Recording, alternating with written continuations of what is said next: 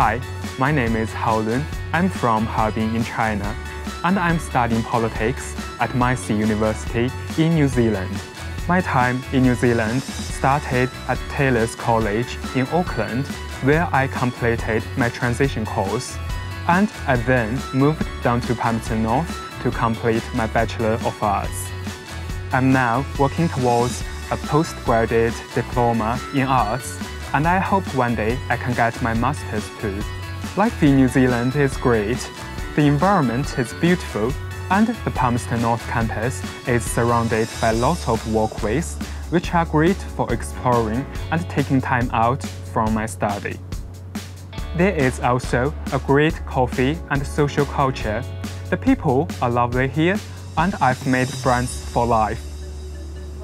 Studying politics here is interesting too. It's easy to get in touch with government, councils, and participate at a local level. I have been in New Zealand for five years, and I'm still loving every minute. If you are looking to study overseas, I encourage you to go for it. It has been the best decision I have ever made, and I'm sure you will agree.